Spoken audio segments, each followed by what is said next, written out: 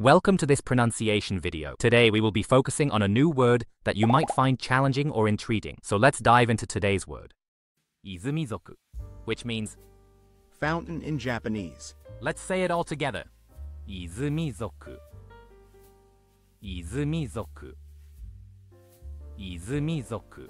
One more time. Izumizoku. Izumizoku. Izumizoku.